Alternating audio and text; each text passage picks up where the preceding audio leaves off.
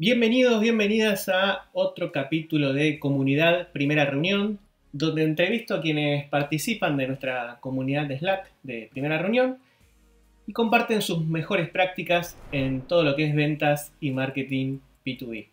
Si te interesa formar parte de la comunidad, es muy simple.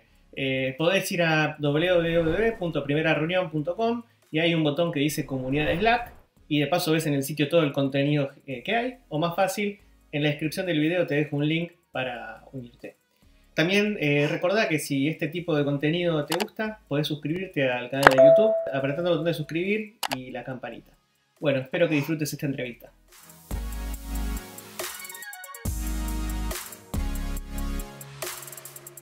Bueno, ¿cómo les va? Bienvenidos, bienvenidas a una nueva edición de Comunidad Primera Reunión, donde este año puntual, el 2023, vamos a estar trabajando en entender cómo convertir todas esas reuniones que generamos, que aprendimos tanto en primera reunión, a generarlas, a convertirlas en dinero, en revenue, ¿no?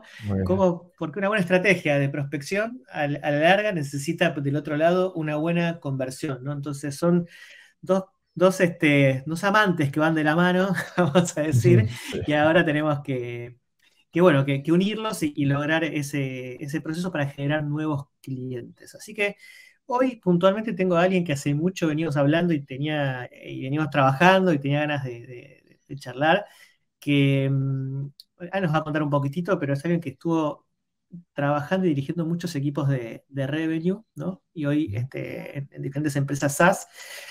Y hoy, bueno, y hoy este, estamos en la parte más de, más de consultoría. Así que bueno, eh, les presento a Ariel Anapolsky. Ariel, ¿estás listo para tu primera reunión? Estoy listo para mi primera reunión. Sí, señor. Bueno, bien, excelente.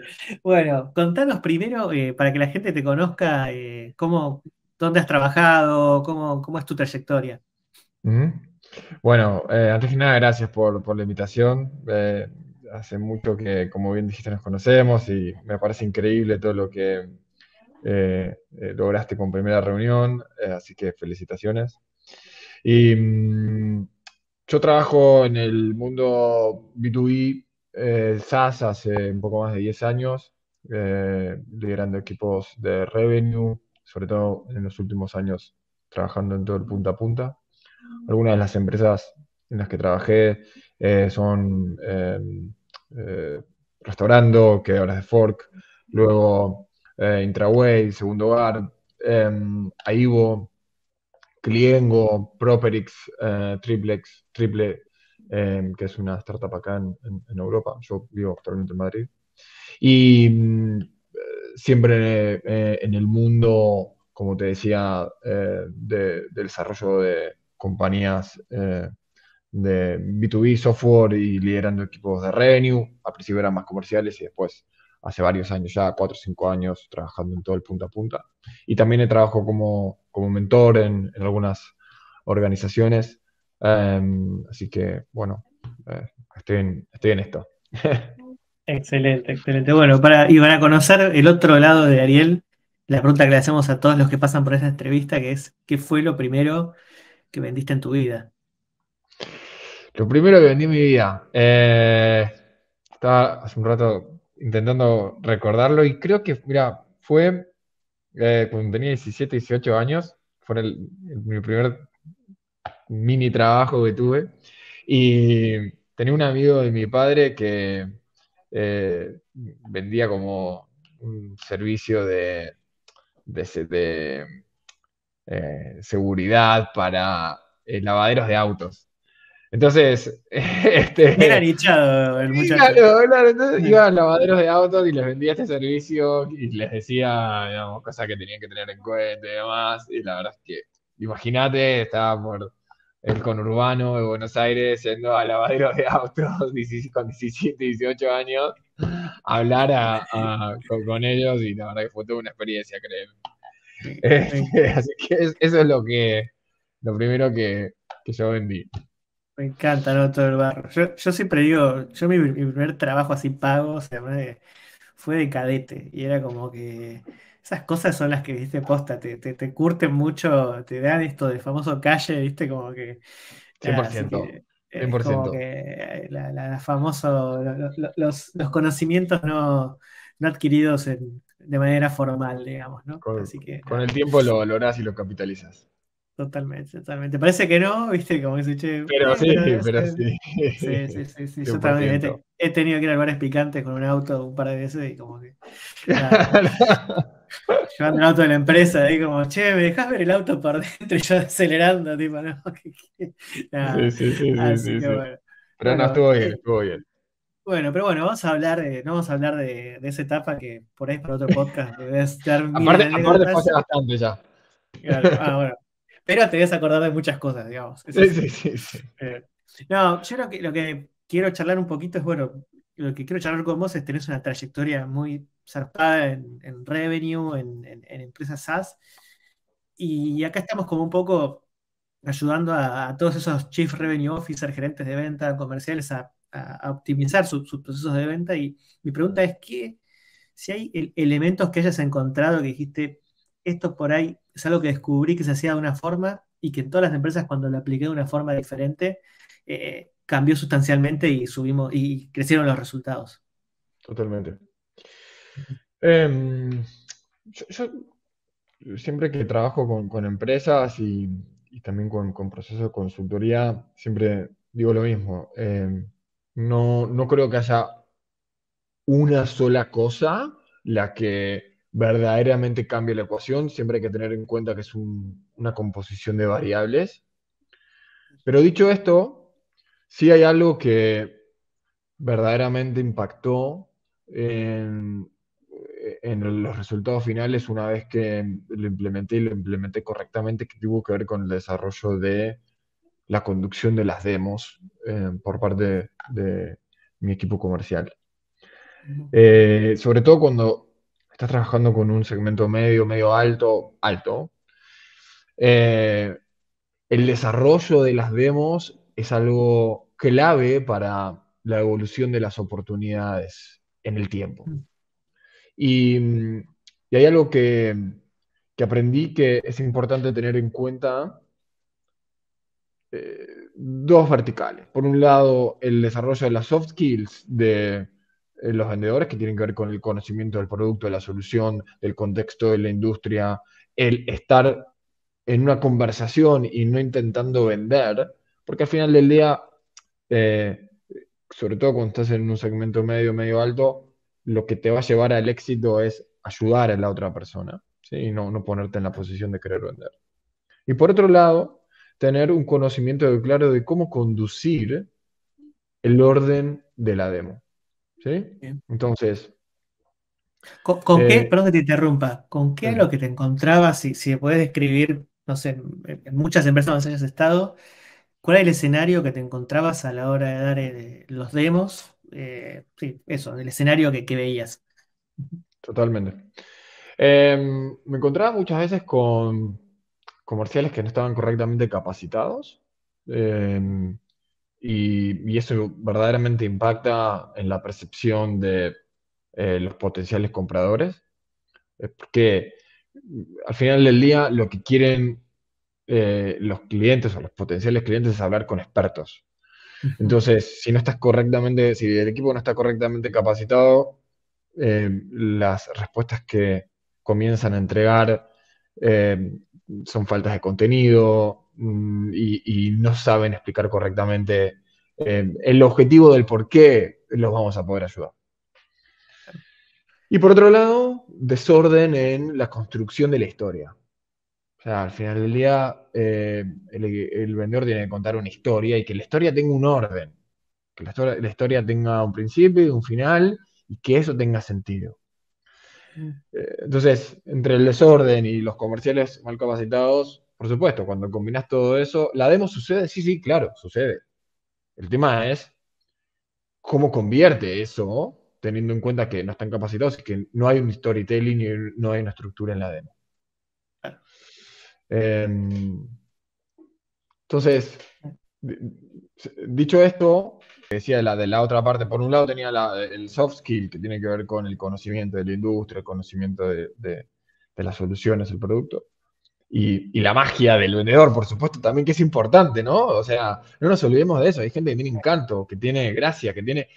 Y eso genera conexión. O sea, no nos olvidemos acá que también la, la, la, venta tiene un componente emocional. Cuando, cuando conectás con la otra persona, eh, cuando el comercial logra conectar con la otra persona, hay clic, ¿no? O sea, y, utilizar las, esas palabras correctas es clave.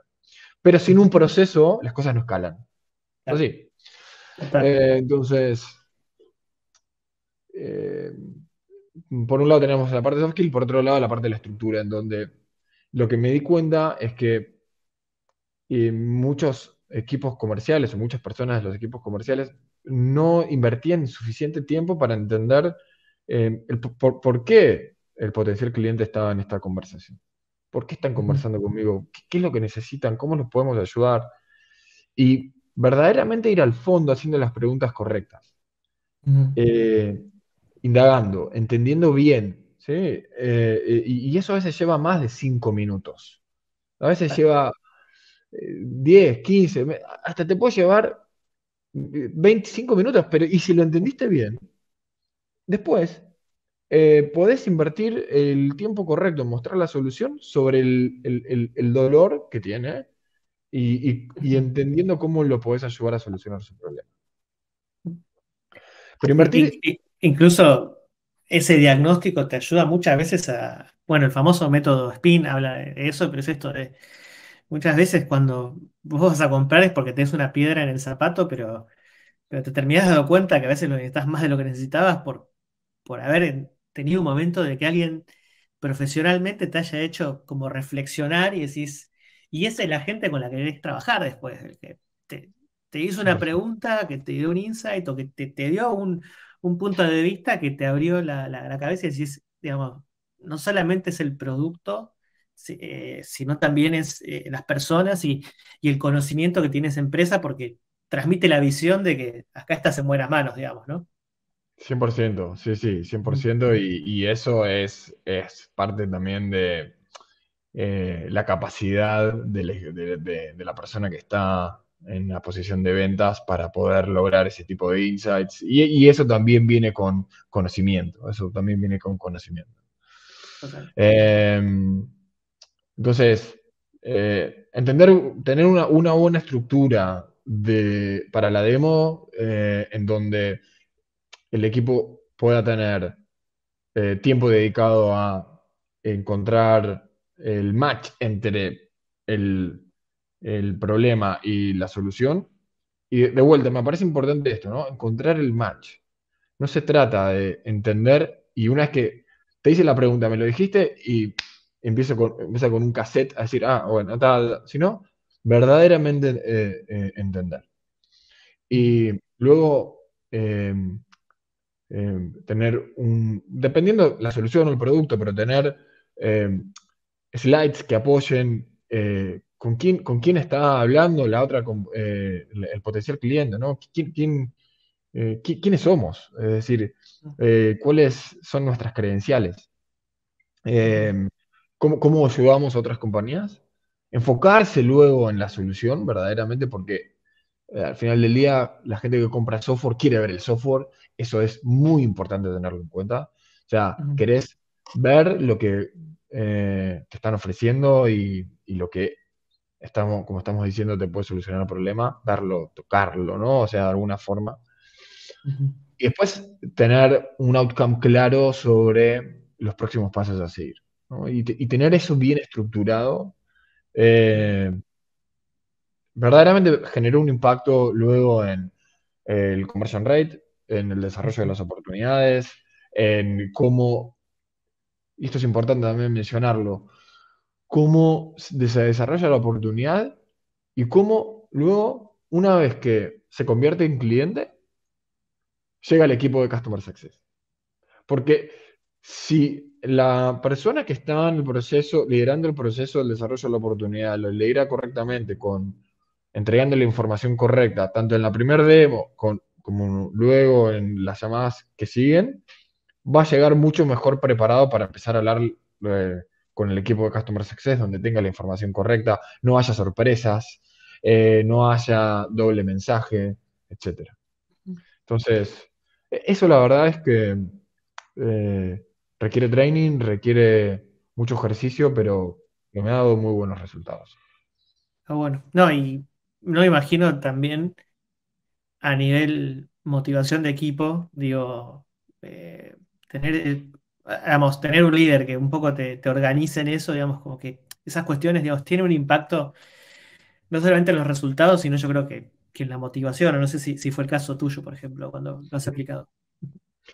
Sí, 100%. Em, yo, creo que cuando el equipo ve que estás trabajando con ellos con un objetivo claro y los estás ayudando a mejorar su performance y, ellos lo ven porque tiene un sentido lo que les estás diciendo, y es importante también esto validarlo. Eh, y, es parte de, la humildad que hay que tener en el proceso de, liderazgo, ¿no? Eh, entender, validar y comprometerse y generar una conexión con las personas que están en tu equipo.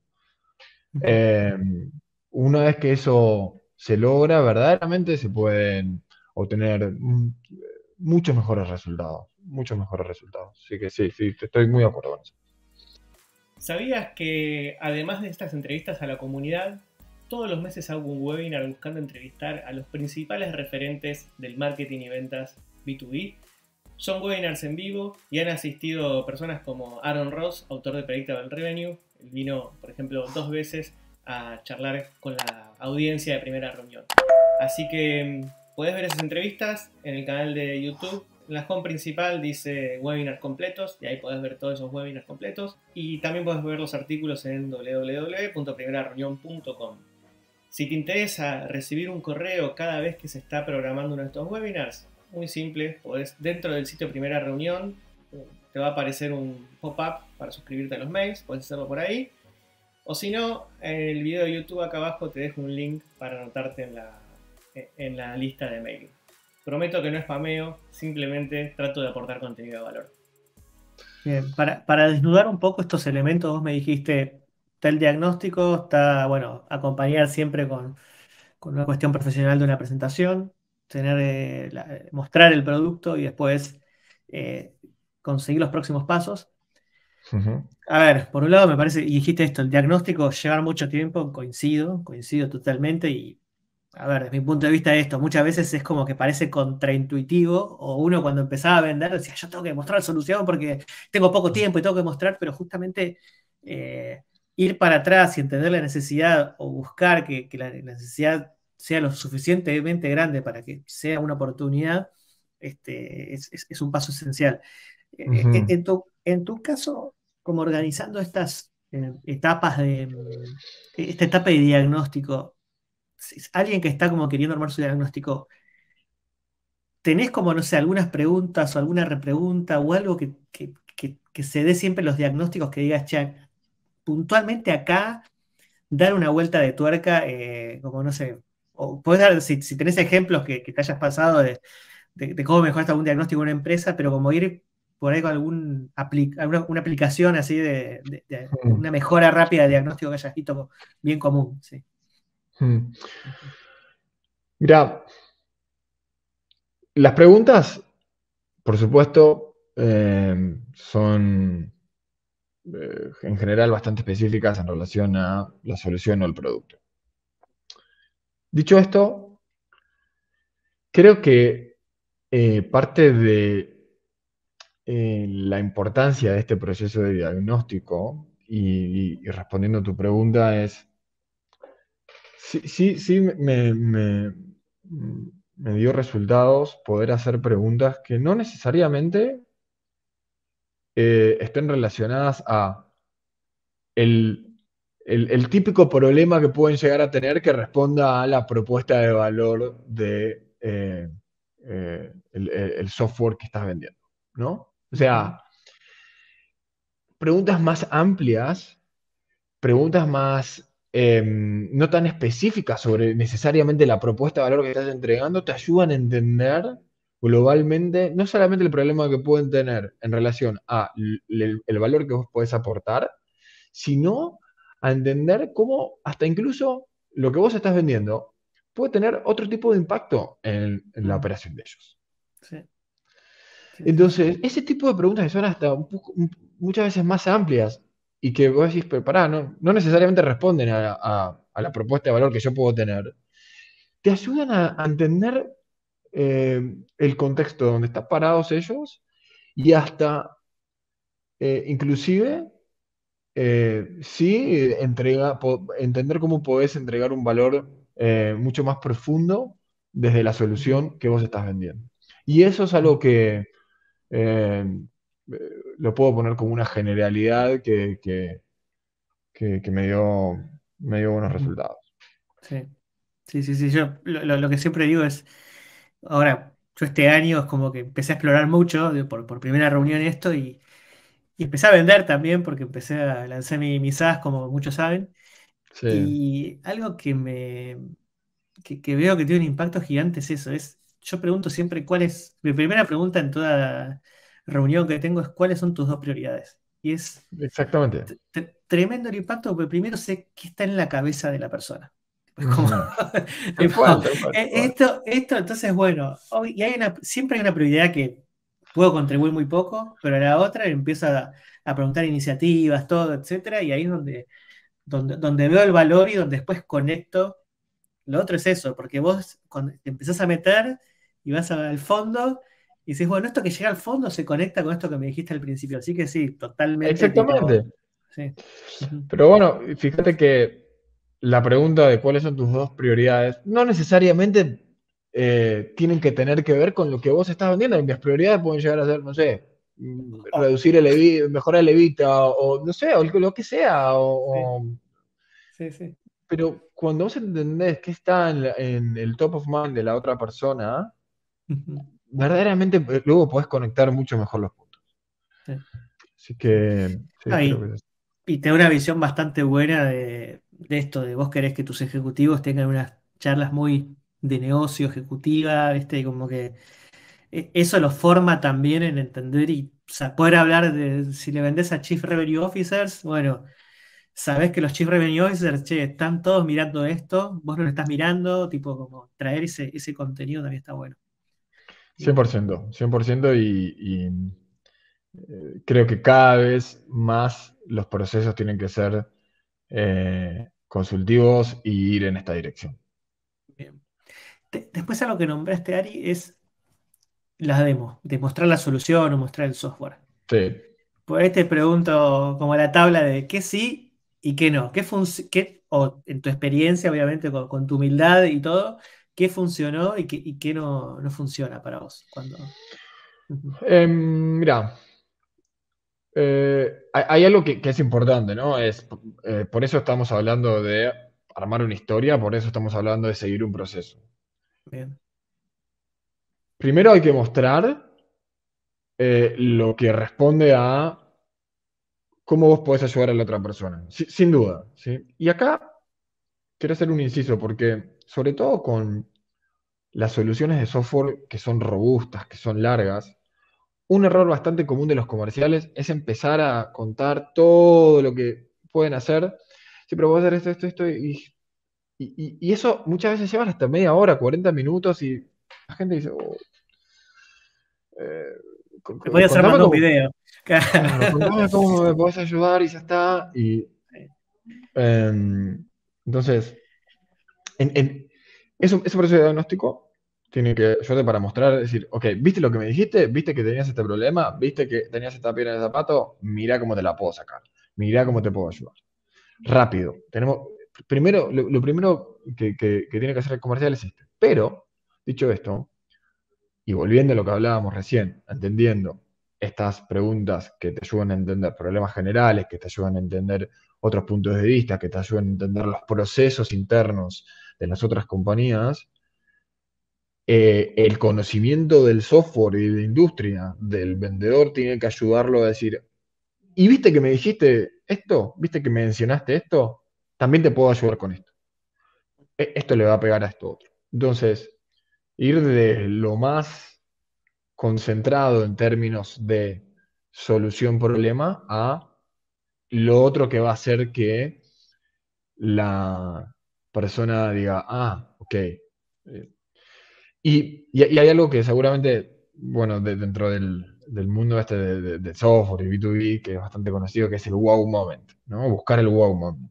Eh, que la otra persona diga, ah, yo te acabo de decir que tenía este problema y vos me lo estás mostrando en vivo, en este momento, ¿cómo me lo podés llevar? Entonces, hay que buscar ese momento y decir, wow, ah, oh, es esto, ah, e, eso, y lo ves, eso lo ves. Entonces, el wow moment es lo que, lo que hay que buscar con el, proceso de la demo del software. Eh, me encanta. Es lo, el otro día me dijeron la frase, tipo, y me quedé así yo, es lo que estoy buscando. O sea, lo tengo grabado porque la grabé porque grabo todas las cosas ahora. Decía, es lo que estoy buscando y lo tengo ahí, le mandaba el print a mi socio, tipo, mirá, el título de esto, claro, no, espectacular. y para la última parte del de, tema de los próximos pasos, ¿no? Eh, de nuevo, eh, creo que hay muchos mal entendidos de próximos pasos pero quiero primero escuchar tu, opinión para ver, tipo, qué es un próximo paso también y si crees que no es. Sí, mm. em, eh, un, próximo paso tiene que ver con, para mí, por supuesto, tiene que, ver con responder con una tarea este, que surja de la reunión eh, en relación al desarrollo de la oportunidad. Y, en este sentido, eh, tiene que ver con Em, poder poner en una próxima reunión o en una próxima tarea algo que va a hacer que los ayudemos a avanzar un paso a el alcance del objetivo que fue planteado. Y eso sí tiene que ver con eh, entregar determinada, puede ser entregar determinada información y, acordar un follow-up sobre eso, puede ser acordar una próxima reunión, puede ser involucrar a más personas del equipo, em, pero, pero sí con, una, tarea específica para poder ayudar al potencial cliente a avanzar y a desarrollar la oportunidad. Em, y, eso tiene que ser concreto, eso tiene que ser concreto y sin caer en, en una posición de apurar a, la otra persona sin querer caer en una posición de eh, ponerlos en un compromiso, sino por el contrario, es decirle, eh, este paso te va nos va a ayudar a estar más cerca de lograr el objetivo. Y esa tarea concreta sí tiene que tener, por supuesto, ¿no? Deadlines, owners y demás. No sé si te hace sentido. No, no, está bueno, está bueno. Y por ahí, algún, a ver, ¿Ustedes solían pedir en la misma reunión como próximo paso agendar ya una segunda reunión? ¿O, no siempre era así? Em, a, veces sí, a veces no, dependiendo del caso. Eh, a veces sí, a veces no, dependiendo del caso. Hay veces que em, pedir una próxima reunión cuando la persona te está pidiendo que le entregues determinada información previo a tener la reunión es forzar algo. Es, ahí te pones en esa posición incorrecta. Total. Ahí te pones en esa posición incorrecta, en donde estás queriendo forzar algo. Eh, entonces, si te están diciendo, entregame determinada información y después lo valoramos, asegúrate que esa información que estás armando sea increíble y, eh, sea correcta y, la entregues en tiempo y forma. Em, entonces, muchas veces tiene que ver con entregar información o lo que sea, o, reporte, o muchas veces sí, es, bueno, eventualmente agendemos una reunión. Qué bueno, está, buenísimo los consejos. Por último, sí, te voy a hacer dos preguntas más antes de, terminar la entrevista, que, la verdad que, está, que me encanta. Eh, bueno, la primera es si, hay alguna otra cuestión que, no sé, en este caso por ahí estamos hablando de demos que, bueno, o puede ser a, líderes, pues por ahí puede ser del lado de la medición, ¿no? Pero algo más que respecto a las demos de ventas creas que es valorable tener en cuenta, digamos, no sé, puede ser desde la ejecución eh, a un ejecutivo de cuentas, puede ser de la medición de, un líder, eh, en este aspecto, nada, algo, que, consideres. Eh, creo que tiene que ser un organismo vivo, de alguna forma. O sea, una vez que te pensás que ya está funcionando, eh, las cosas cambian. O sea, hay algo que está pasando en la industria del software, es que las cosas evolucionan, que las cosas cambian, las cosas, hay nuevas tendencias, hay crisis económicas. Hay, entonces, eh, es, muy importante estar permanentemente encima de, cómo esto evoluciona y, el impacto que está teniendo. No hay que decir, ah, ya hice la demo, hice un playbook, listo, a dormir. Eh, la magia de, poder ayudar al equipo a mejorar su performance está en trabajar permanentemente en esto. Yo siempre lo comparo con los equipos de fútbol o cualquier equipo profesional. ¿por, qué los jugadores de fútbol o los jugadores de básquet eh, son muy buenos haciendo lo que hacen? Porque entrenan todos los días. Dos, tres horas por día. Todo el tiempo entrenan dos, tres horas por día. No dejan nunca de entrenar. Nunca dejan de entrenar. No, llega un momento que dicen, ah, bueno, voy solamente a los partidos. Tienes que estar todo el tiempo entrenando.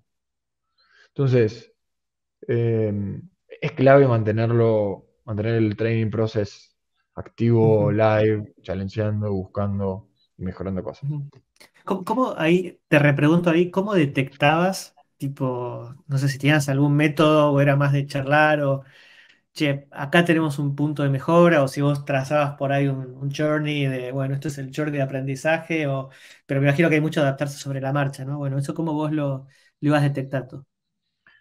Sí, eh, tener un training process eh, escalable con, steps es clave, pero sobre todo también estando eh, en contacto con el cliente y estando en las demos. Mm, una vez que perdiste eso, perdés mucho. Estar en contacto con el cliente y, estando con eh, las personas de tu equipo eh, es clave. Y también hay otra cosa que, me parece importante, es el tema de los roleplays. Que, que, da resultados también. ¿eh? O sea, a mí me ha dado muy buenos resultados. Tener roleplays estructurados, armados, me, me ha dado muy buenos resultados. Bien, perfecto. Ahí aproveché para, pasar el chivo mío. Eh, bueno, por último, Ari, última pregunta antes de cerrar es si esta, siempre mato, esta, esta nunca la, anuncio, la tiro medio sorpresa al final eh, y la gente se queda, ¿no? Pero es si hay algo que hoy sepas que el Ariel de cuando empezó, cuando empezaba a vender eh, a los lavaderos de autos no sabía, que le, dirías tipo, che, a nivel profesional eh, mete foco en esto que vas a avanzar 15 pasos. Em, te diría que todo lo que tiene que ver con la profesionalización del proceso de venta es lo que me generó un cambio eh, tremendo en mi carrera. O sea, la verdad es que empecé a trabajar en estructuras de ventas complejas, eh, con muchos stakeholders y con, mucho trabajo, eh, que tu aprendizaje tenga que ver con poder tener un proceso, estructuras, métricas y, no, y, salir de la lógica solamente de, del vendedor de cosas de seguro para lavaderos de auto, eh, es lo que termina siendo la diferencia y es lo que me permitió a mí crecer dentro de las organizaciones. Entonces, sí, bueno, hay, espectacular la entrevista, me, encantó charlar. Si te quieren contactar, eh, no sé, LinkedIn o algún otro, o la comunidad Slack, no sé. LinkedIn, eh, la comunidad Slack, cualquiera de las dos. Yo estoy entre la comunidad de primera reunión y, y bueno, LinkedIn, cualquiera de las dos. Bueno, bueno, ya lo conocieron entonces, Ariel Arapolsky, consultor con mucha experiencia en liderando equipos de, revenue, lo pueden contactar. Ariel, gracias por esta primera. Bueno, esta fue una entrevista de comunidad primera reunión. Espero que la hayas disfrutado. Yo disfruto todas estas entrevistas. Así que si te interesa formar parte de la comunidad primera reunión, acordate www.primerareunión.com y ahí donde dice comunidad Slack te anotas o acá en los comentarios más fácil está el link y llevas directo para, para Slack. Si te interesa que te entreviste, es muy simple también. Hay un formulario acá abajo, lo completas y voy a intentar contactarte lo más pronto posible, siempre en la lista de espera. Así que bueno, espero verte en el próximo capítulo. No te olvides de suscribirte al canal de YouTube para que te llegue una notificación cuando esté el próximo capítulo. We'll be right back.